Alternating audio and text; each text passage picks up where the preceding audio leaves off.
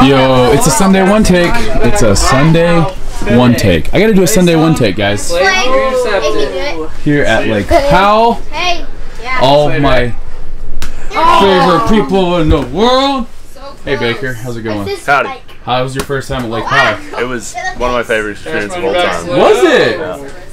Sorry. I think, I think It's the Mama dream. Baker, Mama Baker's gonna need to come. So right now we're on this ginormous houseboat. We're here in Antelope Point Marina. How was your first time at Lake Powell? So much fun. I Was it had the best time? time? Yeah. How was your time at Kenna? At Powell? It was lit. Lit and. This is Mama Orr. She makes absolutely everything happen. She's the best person on the planet tied with her husband, who is off running people up to their cars. Because we're leaving. It's a sad day. Anytime you leave Lake Powell, you have these feelings that you're like super, super sad. So Leah, how was your time? It's great. It was good? Out of 10, what do you give it? Ten. It was 10. Yeah, ten every time. How much do you love your Grammy for just making this the most spectacular time ever? Thumbs up. do you know what I love? Grammy still has you on her answering machine. I love that. Hi, this is my Grammy's phone. I'm gonna show you guys what it's look like up, what it looks like upstairs. So this is a five bedroom houseboat. Well, it's like yeah, five bedrooms basically, two baths up here. Got a TV that folds down. This is where we would hang out, and then on top, people were stunting because we had the Weber State cheerleaders, or two of them with us. Probably one of the best stunting people in the world.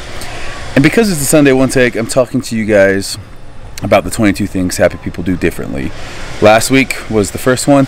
Today, week two. Um, and again, I wanted to do this as a way to just remind myself, to get myself talking about things that, you know, this list, which I always link in the description, is all about creating habits that will put you into a better state of mind. It'll get you appreciating things. It'll get you, you know, last week was all about not holding a grudge. Well, link it gnaws at you. You might work with somebody that you, you know, you don't necessarily like, but you need a work relationship with. So you have to forgive. You have to let go. A grudge, we'll link that video, but it's all about how when you hold grudges, it really is affecting you.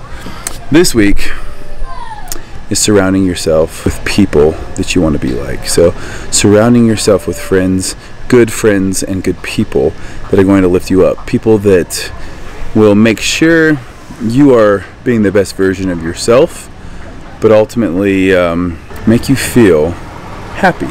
So, surrounding yourself. There's a there's a quote that says you're the culmination of the five people you hang out with most. And I want you to stop and think about that for a section. Second the five people you hang around with most. Think about those people in your life. Even maybe name them. And think about what each person brings to your life. And are they making your life? Are they enhancing it? Are they are they giving as much as they're taking? Are they making sure that they're you're gonna you know you're gonna be your best self? Or is it something that maybe needs some changing? You need to rearrange maybe your friends and family members. Get it, get it, get it. Oh, it's not even on. Oh, it's still on. There we go. Hi there, Tater Bug. Hey there, Taylor Bug. oh, Taylor's the Golden State fan. He's that person that's. There's always one in the group. But yeah, so this week, happy people make sure that they surround themselves with people that are going to uplift them, that are going to make sure that they are, I guess, being the best versions of themselves. So I think that's one thing that in my life I've had a lot of good people around me. People like the Orrs, people like my, my family. I'm one of seven. And they'll call me out if I'm not acting how I want to, how I think I should. They, they know me well enough to know my, my roles and goals and morals. Um, and I think that this day and age, with social media, you have to take that into consideration too. Who are you following? Who are you surrounding yourself with in the cyberspace? What are you viewing every day? Who are you becoming like because you're seeing their post every single day? Think about that because I think too often we, you know, we get the day to day, the person to person interaction, but nowadays we get a lot of online interaction that shapes how we think, that forms our opinions. Are those people changing you for the better or changing you for the worst? If you want to be happy, make sure that you're following people that are positive, that are going to bring, that are going to enhance your life. So, anyhow, that is it pretty much here from gorgeous Lake Powell. Oh, they are playing it. The people next to us were crazy University of Utah fans, and I'm pretty sure this is the University of Utah fight song. Who am I, sir? Utah man am I? Just take a look. We're gonna come up to the top here. This is Nicole. She was killing it. Where's your bike at? Oh, it's right there. It's a gorgeous bike. So this is where we're now three stories up.